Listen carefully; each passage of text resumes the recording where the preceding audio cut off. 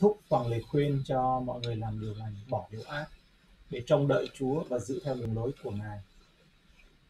Và cẩn thận về tương lai của những uh, người công bình. Và cái này nó trái ngược với những cái người làm ác. Nó trái ngược cho những người làm đây là cái phần 3 cái phần số 3 à, trong các cái câu này cho chúng ta xem à, bây giờ thì mình à, sẽ xem các cái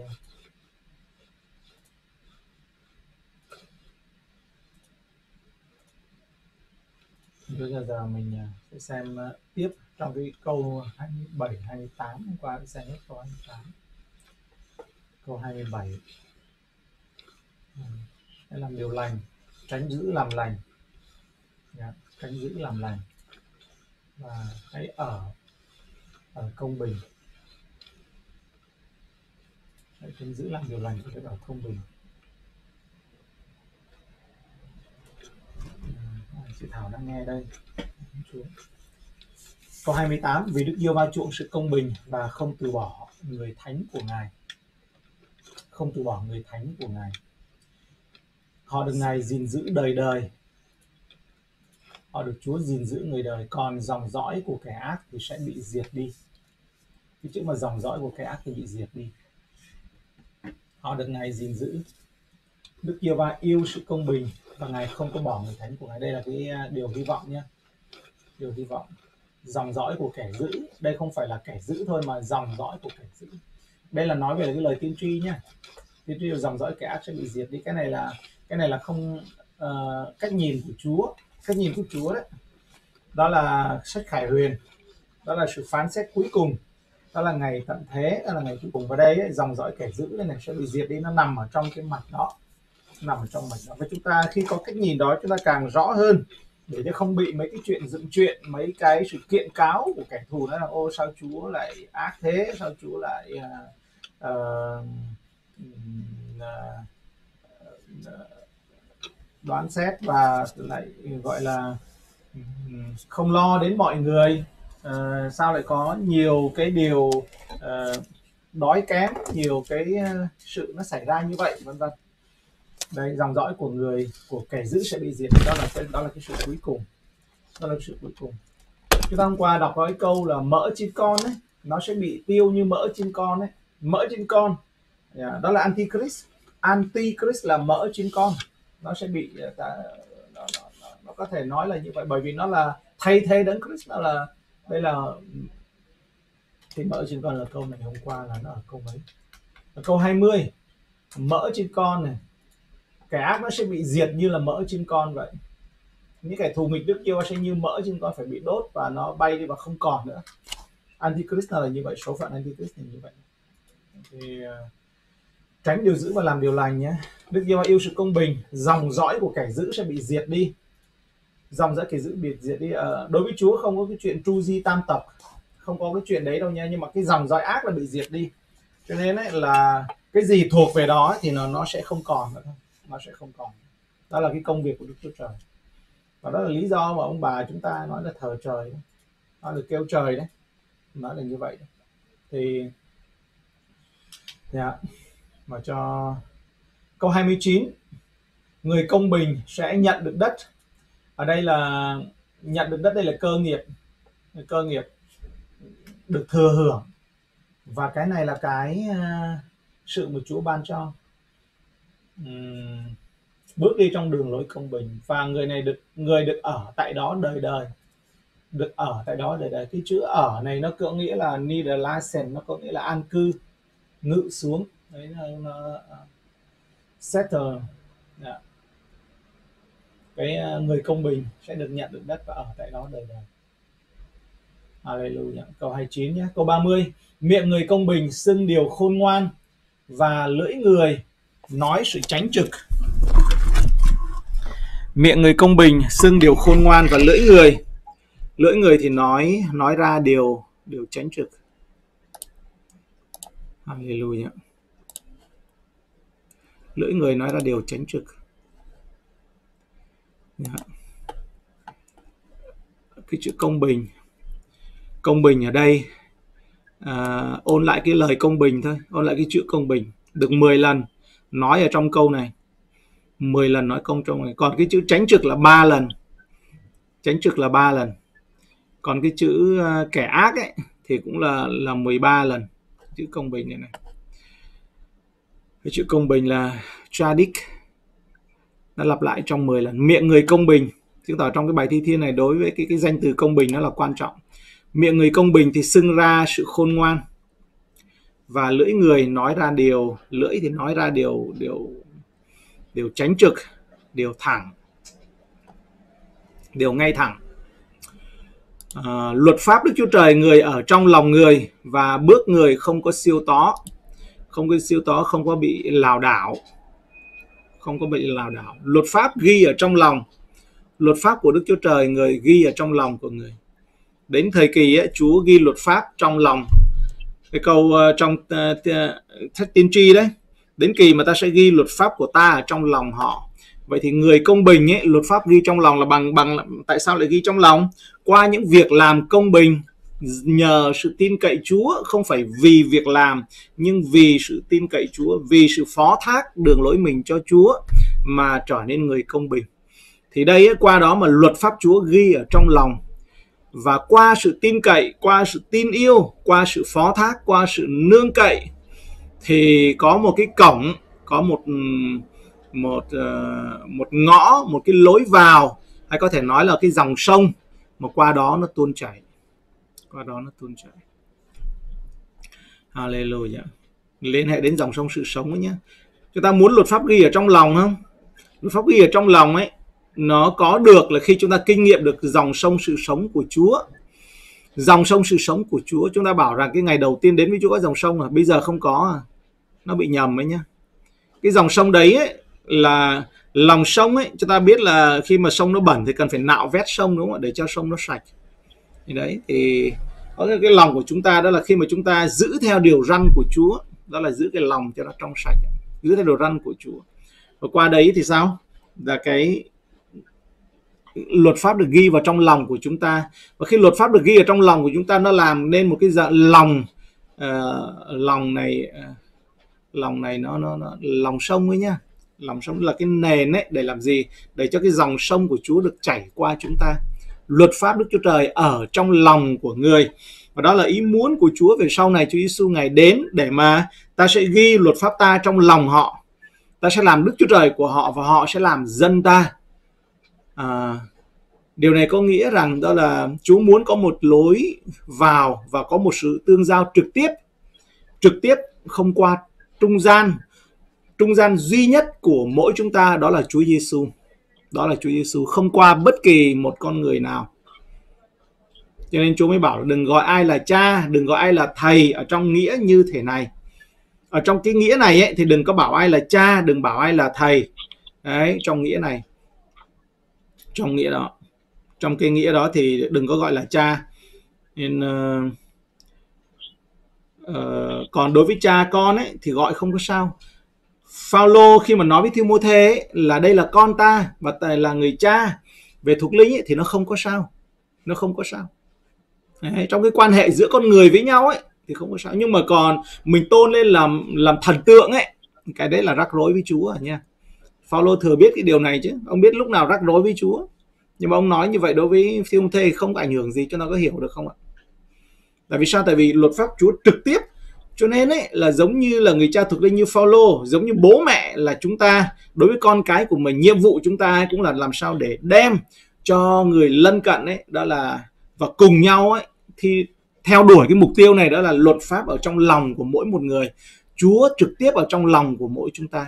Thì tiếp theo, bước người không siêu tó bước người không siêu tó đây là cái lời tiên tri nhé. Luật pháp Đức Chúa Trời ở trong lòng người. Một người công bình, sự hướng theo, nhưng mà cũng là một cái lời tiên tri. Về cái sau này nữa. Yeah. Và càng suy gẫm càng thấy cảm ơn Chúa, kẻ ác sẽ bị tiêu như mỡ trên con. Đó là antichrist ấy, nó sẽ bị tiêu trong xèo xèo ấy. Xèo xèo dưới ờ, hỏa ngục ở trong ờ, tôi nhớ là chương 20 đúng không? Chương bao nhiêu nhỉ? Dạ, đó là à, con thú và tiên tri giả đấy là bị quăng xuống hỏa ngục. À, trong khải huyền trong trường bao nhiêu? Ở đây hình như là đây tỏ ra sự nhịn nhục. Không phải chương 20 chương 14 rồi. Chương 14 nó đã có cái đó rồi. Nó sẽ uống rượu thành nộ không pha của Đức Chúa Trời và chịu đau đớn chịu đau đớn, khói của sự đau đớn nó bay lên, đó là kẻ thờ lại con thú và tượng của nó đấy. Đó là hình ảnh của Antichrist đấy. Hình ảnh của Antichrist đấy. đó là mỡ trên con đấy. Và khói nó sẽ bay lên. Chúng ta thấy khói nó bay lên không? Thì cái câu này trong ờ, trong cựu ước ở đây này là câu 20 thì nói sao? Nó phải bị đốt và tiêu đi như khói. Tiêu đi như khói. Khải huyền chương 14 câu 20 thì nói sao?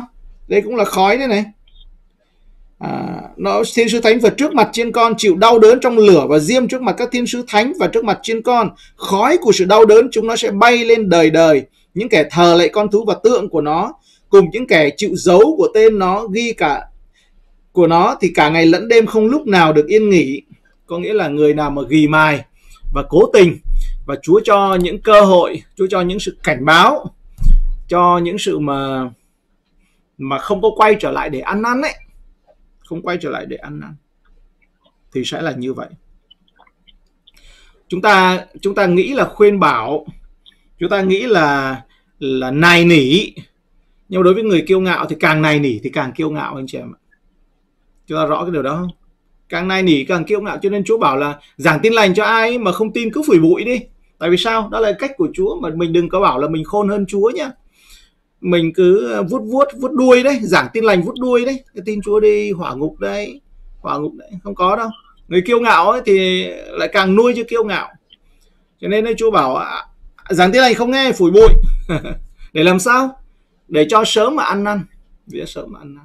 Đó là cái cách của Chúa và chúng ta hãy xem cái đó là Chúa khôn hơn mình nhá chúng ta đừng nghĩ rằng đó là khi chúng ta muốn cho người người mà cầu nguyện ấy thì chúng ta tưởng là thôi phải nói nhẹ nhàng nói nhiều người ta vấp phạm. Đúng. Trong trường hợp mà nếu chúng ta dùng xác thịt thì chúng ta phải sửa lại để cho nhẹ nhàng. Yeah, phải sửa lại để cho nhẹ nhàng. À, điều chỉnh về cái con người chúng ta cần học thì cái đó là đúng thật. Nhưng mà còn cái tin lành mà đã nói ra ở ở đối với Chúa thì không có không có gì phải điều chỉnh nữa cả. Chúng ta cái phương cách chúng ta thì có thể điều chỉnh. Ok trở lại đây.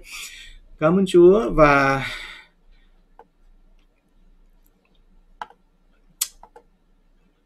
sẽ bị diệt đi. À, miệng người công bình lưỡi người luật pháp đức chúa trời.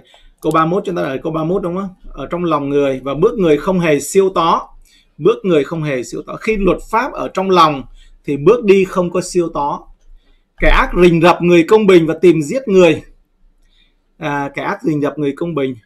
Chúng ta biết đấy là trong cái cuộc đi săn ấy thì ai là rình? Thợ săn là rình con mồi còn những con thú mà ăn thịt thì sao? Thì nó rình mồi. Thì nó rình mồi.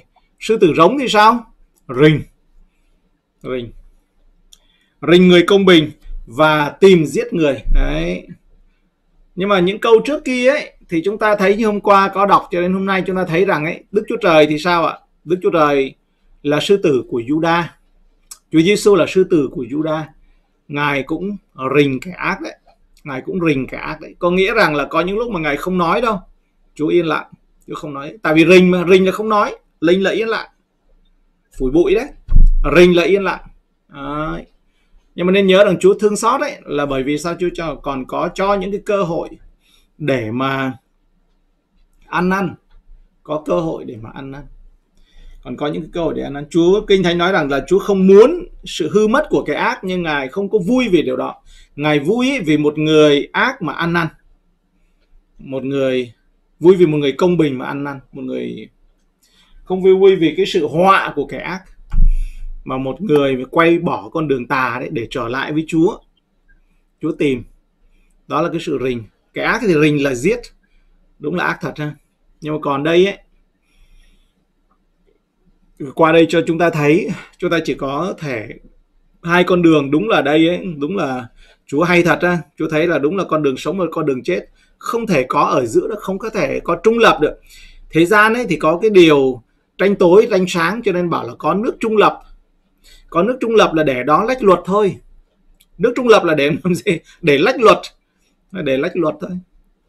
Cho nên, cho thỉnh thoảng chúng ta nghe những câu ấy là bây giờ người ta tính chuyện là bao nhiêu tỷ phú ở tại Trung Quốc là sẽ đóng băng nhà băng Thụy Sĩ tại vì ở đó là nước trung lập mà. Mấy người lách luật chạy vào đấy. Lúc nào ờ, có cơ hội cái gì ra chạy vào đấy. Nên cho nên đối với ờ, ở trong ờ, trong thế giới vô hình không có chuyện đó. Không có chuyện như vậy. Không có chuyện như vậy. Và nên nhớ rằng ấy, cái trung lập ở thế gian không phải là trung lập theo như chúng ta nghĩ đâu. Không bao giờ có đâu. Mà kinh thánh có nói về đấng trung bảo thì có đấng trung bảo là đấng trung gian giữa đức chúa trời và con người nhé chứ không phải giữa đức chúa trời và ma quỷ không có chuyện đấy giữa đức chúa trời và con người ấy là con người được cứu để chúa đi tìm ấy. đấy đấng trung bảo kẻ ác rình rập và tìm giết nhưng tạ ơn chúa tạ ơn chúa để cho cho chúng ta thấy mình à, nấp mình trong Chúa quan trọng như thế nào. Đức giê không bỏ người trong tay hắn, cũng không định tội cho người khi người bị đoán xét. Đây là sự an ủi cho chúng ta. Không bỏ người. Cho nên hãy kêu, kêu cầu thì được cứu đấy. Câu 34, hãy trông đợi Đức giê va và giữ theo đường Ngài thì Ngài sẽ nâng ngươi lên. Hãy trông đợi Đức Giê-hô-va và giữ theo giữ theo đường của Ngài.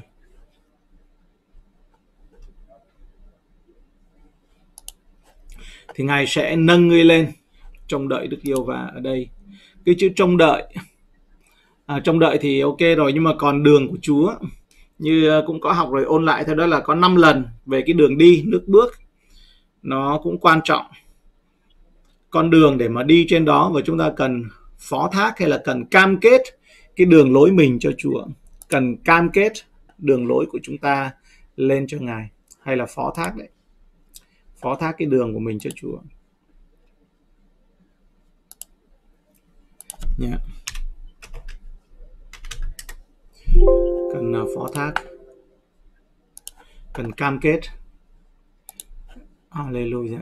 Ở đây à, cho tôi à, như vậy. Năm.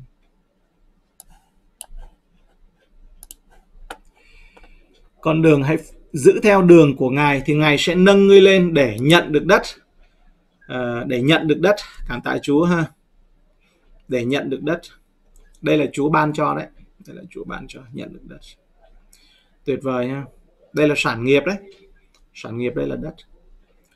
À, cái này nó nó nhiều hơn là cái mà mà như chúng ta nghĩ. Còn cảm ơn chúa ha. cái cái ờ, để chúng ta chúng ta hiểu. Xin Chúa cho chúng ta vỡ ra. Chúa dẫn chúng ta đến cái đất này là gì? Cái đất này. Yeah, đất này đó là lòng người. Đất này đó là lòng người. Đất này đó là um, những cái điều gì mà cây đức tin trồng lên ấy ngài sẽ nâng ngươi lên để nhận được đất. Và kẻ khi kẻ ác bị diệt đi thì ngươi sẽ thấy điều đấy. Cái chữ kẻ ác bị diệt đi ấy cái chữ diệt này ấy, thì thì nó lại là chữ cắt chữ cắt bỏ. Mà thời gian này Chúa đang cho chúng ta chú ý trong cái câu mà Ngài cắt bỏ. Ngài cắt bỏ, chúng ta cắt bỏ và Chúa Giêsu cũng dạy về cắt bỏ hay là chặt đấy, cái đó là quan trọng. Chặt đứt quan trọng.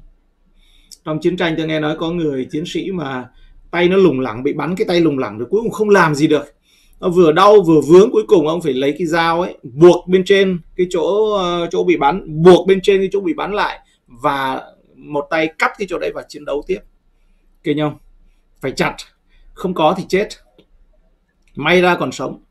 Đấy thì khi kẻ ác bị bị cắt thì ngươi sẽ thấy điều đấy. Lý do mà đức chúa trời ấy, ngài khiến cho kẻ ác bị cắt ấy là khi mà không còn có thuốc chữa nữa khi không còn hy vọng nữa. Và đó là cái lý do mà mà trong uh, chúa bảo với lại uh, abraham ấy đó là bây giờ cái lượng tội lỗi nó chưa có đầy. Cho nên người qua qua qua ta sai người qua 400 năm 30 năm ấy, là đi qua Ai Cập. Con cái người đi qua đó. Khi nào lượng tội lỗi đầy ấy thì ta mới sai, dòng dõi người về xứ này và nhận đất. Đó là khi mà không còn thuốc chữa nữa. Khi không còn thuốc chữa. Yeah. không phải là Chúa không yêu, không phải là Chúa gài nhá Đức Chúa này ngài không bao giờ gài, không bao giờ cám dỗ. Nếu mà gài và cám dỗ chúng ta là những người cuối cùng đất mà chúng ta, cuối cùng, tận cùng thế giới mà chúng ta được tin ngài, Đức Chúa Trời không bao giờ Đấy, đừng có tin vào kẻ ác nha. Anh chị em chúng ta hãy ghi nhớ nha. Đừng bao giờ tin vào cái kẻ dựng chuyện kẻ lừa dối. Nó đã từng một lần lẻn vào vườn Eden này đấy. Nó dừng chuyện. Hàng ngày Adam và Eva được thờ phượng Chúa. Họ là đền thờ của ngài. Tại vì trong Eden không thấy nói có bàn thờ đền thờ. Nhưng mà chính họ là bằng đất ấy dựng nên bằng đất bởi hơi của Đức Giê va và chính họ là có phải chăng là đền thờ của Chúa? Bởi vì trong suốt Egypt ký chương 20 câu 24 có nói nếu các ngươi dựng bàn thờ nào hãy làm cái bàn thờ bằng đất cái chữ đất đấy chính là cái chữ mà đất cùng được dùng để mà ngài tạo dựng Adam từ đất tuyệt vời không Chúa Giêsu bảo rằng ấy là ta sẽ dựng lại đền thờ trong 3 ngày chính là thân thể của chúng ta Kinh Thánh cho chúng ta biết chúng ta là, là đền thờ của Ngài, bàn thờ của Ngài. Tuyệt vời không? Hallelujah. Nên uh, đừng có tin vào cái sự dựng chuyện. Vậy mà Adam Eva vẫn tin ờ, vẫn tin rằng ờ, Chúa còn giấu mình cái điều gì ấy. Đấy, cho nên là những cái ờ, những cái tiếng mà bên ngoài chúng ta cần phải phân biệt nhé cần được nhớ lên một chút nhấn nhớ một tí đừng có tin vào sự dựng chuyện là tại sao uh, Chúa lại để cho những sự mà nó như thế này. Đức Chúa Trời yêu mọi người tại sao có điều bất công tại sao có bệnh tật tại sao có những người nghèo khổ có những người mà chết oan uổng oan ức như vậy. Yeah, chúng ta không khôn hơn Chúa được. Không khôn hơn Chúa được. Nên uh, Chúa đấng nhân từ và thương xót và cái đấy là cái mà chúng ta đừng bao giờ quên uh, và cần đứng vững. À, và kẻ ác bị diệt đi. Kẻ ác bị diệt đi đó là khi mà bị cắt bỏ đi ngươi sẽ thấy điều đó. Đó là công việc mà Chúa sẽ cắt. Nên Chúa sẽ cắt.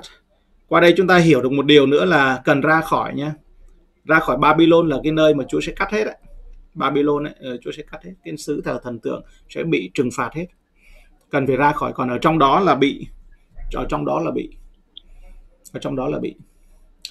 Yeah các uh, Tôi từng thấy kẻ có thế lực lớn trải ra như cây xanh tươi mọc nơi cố thổ. Nhưng người có người đi qua, hắn không còn nữa, tôi tìm hắn nhưng không gặp. Hãy chăm chú người trọn vẹn và xì nhìn xem người ngay thẳng. Vì cuối cùng người hòa bình có phước. Ở đây tác giả nói tập trung vào người công bình, người trọn vẹn đi. Vì cuối cùng của họ có phước, mặc dầu trông về vậy thôi á. Trông có vẻ như vậy nhưng mà cuối cùng của họ có phước. Hãy chăm chú họ. Hãy chú ý vào họ đừng có tập trung và chú ý vào những cái mà phiền lòng mà làm cho mình phiền lòng. Đó là sự uh, xanh tươi của kẻ ác. Đấy. Còn kẻ phạm tội sẽ cùng nhau bị hủy hại trong tương lai kẻ ác sẽ bị cắt đi. Trong tương lai ấy, sự tương lai của kẻ ác sẽ bị cắt đi. Tức là nó không có tương lai. Nó bị cắt đi. Đó. cái đấy là cái ờ, cái chúng ta cần nên biết. Đó là lời kinh thánh chúa dạy à lệ lỗi bị cắt. À, cái sự cắt này. Nhưng sự cứu rỗi người công bình do Đức Giêsu va mà đến ngài là đồn lũy của họ trong thì gian truân. Đức Giêsu va giúp đỡ và giải cứu họ. Ngài giải cứu họ khỏi kẻ ác và cứu rỗi cho bởi vì họ đã nương náu mình nơi ngài. À, bởi vì họ đã nương máu mình nơi ngài. Cảm ơn Chúa cho lời bài thi thiên này. Ở đây thì có một lời trong uh, trong cái các cái câu này, để cho chúng ta cùng nhau xem. Ở đây, có 5 cái điểm 5 cái giá 5 cái giá trị trong thi thiên 37 này. Cùng quan sát ở đây nha. Chúng ta cùng nhau giống như đi vào trong cái sự tổng kết vậy. Năm cái à, chìa khóa giá trị trong bài thi thiên này. Thứ nhất đó là không có sợ hãi vì những kẻ bất lương chúng sẽ nhanh chóng khô héo, không phiền lòng. Đừng sợ hãi, đừng phiền lòng. Hãy tin cậy ở nơi chúa, chìa khóa đó là đức tin. Hãy cứ làm điều tốt khi mọi cái khác sai sẽ được ở trong xứ. Hãy khoái lạc nơi chúa. Đây là cái chìa khóa và ngài sẽ ban cho điều mình khoái lạc.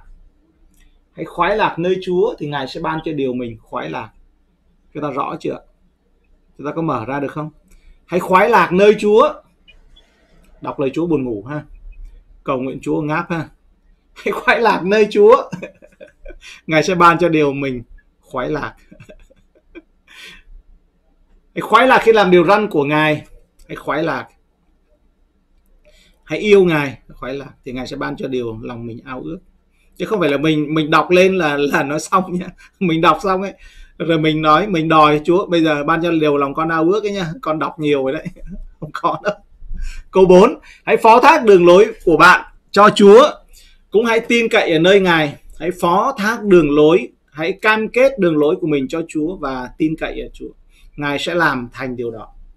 Đó là cái chìa khóa. Hãy cam kết đường của chúng ta, con đường đường đời của mình cho Chúa. Giao tháng hay là cam kết đấy, tấn ca nêu đường đời mình cho Chúa. Đấy, cái bài hát bài hát đấy đấy. Đó là, và tin cậy ở nơi Ngài. Ngài sẽ làm thành hy vọng ở nơi Chúa và bạn sẽ được trông đợi ở nơi Chúa hay trông đợi Đức Giêsu va và sẽ được hưởng đất. Trông đợi nơi Đức Giêsu va và sẽ được hưởng đất. Cảm ơn Chúa. Chúng ta bước đi với Chúa có người một hai năm có người ba bốn năm có người năm mười năm à, có người hai mươi ba mươi năm. Và chúng ta có làm không? Thế thì mệt mỏi làm cái gì ạ? Tại sao chúng ta lại mệt mỏi ạ? Tại sao chúng ta lại mệt mỏi? Có phải là thiệt không? Có một người giáo sĩ đi từ châu phi về xong rồi về trên tàu thì người ta ra đón ờ, ra trống kèn tưởng là đón mình hóa ra không phải đó là có một người trong chính phủ và bảo là câu chuyện thì nói đó là có một người tổng thống là tổng thống mỹ đấy. Họ ra trống kèn họ đón. Người này khi thấy như vậy là cũng phiền lòng cũng phiền lòng bảo con hầu việc chúa cả đời không ai đón con cả. Yeah. mà đây ấy, ờ, họ được đón như thế đấy thì thì có tiếng nhỏ nhẹ nói với ông ấy rằng là con đã về nhà đâu. Yeah. chúng ta đi với chúa. Mình có thấy không? Mà sao mình tin cậy có lời của ngài. Yeah. vậy thì đừng có tin vào sự dựng chuyện. Đó là tình yêu ban đầu không có nhé. Đó là sự dựng chuyện đấy. Bởi vì nó nó mình tin vào cái đó ấy, là là nó lừa mình để mình tin vào cảm giác hay cảm xúc. Nó cứ ở mãi con trẻ hoài không phải đâu. Chúa sẽ không cho chúng ta lại giống như trước đâu. Mà năm nay là năm 20 nó khác. tình yêu ban đầu nó khác. Hãy bước đi trong trách nhiệm. Ở đây cái giá trị này dành cho người bước vào trong trách nhiệm này. Có nghĩa là không phiền lòng. Hãy tin cậy. Con quyết định hay là con sẽ khoái lạc ở nơi Chúa và ngài ban cho con lòng con vui mừng về điều này. Niềm vui này nó không phải là cảm xúc nha. Niềm vui và con tin cậy, con phó thác, con cam kết. Con cam kết và con hy vọng ở nơi Chúa. Nhắc lại trong một cái ờ, nguyên tắc nữa, sau đây chúng ta cầu nguyện. Một cái nguyên tắc ở đây. À, không phải một mà là 8 điều. 8 tám cái nguyên tắc chìa khóa. Không có phiền lòng. Không có phiền lòng không có nề. À, à, yeah. đấy à, không có bực ấy. Không có bực không có vấp phạm không có phiền lòng. Tin cậy Chúa vui vẻ nơi Chúa khoái lạc ở nơi Chúa. Phó thác cam kết đường lối mình cho Chúa và hãy yên tĩnh, chờ đợi ở nơi Ngài.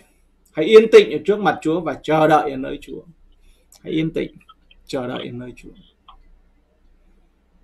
Đây là những cái câu chìa khóa rút ra từ bài thi thiên này đấy. Từ bài thi thiên này. Xương máu ấy nha. Xương máu ấy. đừng có giận dữ làm cái gì, chỉ tốn năng lượng thôi. Và chúng ta nhớ là giận dữ là nó lòi ra lỗ mũi, nó lòi ra trên gương mặt mặt mày tím tái. Dạ đấy, nó đừng giận dữ. Đấy, thì à, hãy lìa khỏi điều ác, bỏ điều ác đi. Bỏ điều ác và đừng theo. Không thể đi đi đôi được. Và trông đợi ở nơi Chúa, giữ theo đường lối của Ngài. Đó là những cái chìa khóa dạy cho chúng ta trong bài thi thiên này, dạy sự khôn ngoan. Cảm tạ ơn Chúa cho lời của Ngài và xin giúp đỡ cho chúng con. Chúa, cho chúng con uh, ban ơn và chúng con có thể nói rằng chúng con đi theo Ngài. Cảm ơn Ngài. Hallelujah. Xin giúp đỡ Chúa ơi. Chúng con mong muốn được khoái lạc ở nơi Ngài. Và chúng con biết được rằng cái sự khoái lạc ở nơi Chúa đây là do điều Ngài ban cho. Do điều Ngài ban cho. Hallelujah. Uh, cảm ơn vì sự nhân từ. Chúng con uh, dâng lời à, cảm tạ anh cha. Xin ban phước trên dân sự trong buổi chiều ngày hôm nay. Trong buổi chiều ngày hôm nay nguyện xin ngài cũng ờ, chúa ngài cũng ghi luật pháp của chúa ở trong lòng của chúng con. Xin chúa ngài để cho luật pháp của ngài được uh, ghi ở trong lòng của chúng con. Và bởi luật pháp ghi ở trong lòng của chúng con mà chúng con biết lối suy nghĩ biết cách ăn nết ở biết cách nói cách thưa học ăn học nói học gói học mở à, biết học những cái lối suy nghĩ của ngài và làm quen và nhờ ánh sáng của Chúa xin thắp ngọn đèn Diêu va Đức Chúa Trời xin soi sáng trong nơi tối tăm chúng con để cho chúng con vỡ ra được những điểm mù, những cái góc chết người khác thấy mà mình không thấy, kẻ thù thấy mà mình không thấy cho nên đó là lý do chúng con chính đáng mà chúng con chúc phước cho kẻ thù Hallelujah Cảm ơn Chúa, xin Ngài ban ơn. Và chúng con thấy sự hạ mình thật là tuyệt vời. Khi đã hạ mình được xuống thì chúng con nói rằng thật là may. Chúng con còn sống mà còn mang được thập tự giá. Giống như người có cơn ác mộng tỉnh dậy thấy rằng mình vẫn còn sống, thì chúng con thưa với Ngài rằng cảm ơn Chúa cho chúng con còn mang được thập tự giá. Hallelujah. Cảm ơn Ngài. Chúa Ngài ban bình an cho dân sự và con cầu nguyện Hallelujah ở trùng cùng mỗi người anh chị em của chúng con nâng đỡ ờ, giải phóng Nguyện xin niềm vui, giàu của sự vui mừng ngài nâng đỡ chúng con lên, vượt qua cái cảm nhận và cảm xúc cho chúng con được hướng lòng về nơi Chúa trong danh Chúa Jesus Christ. Amen. Amen. Mời chúng ta bước vào trong sự cầu nguyện đi. Hallelujah.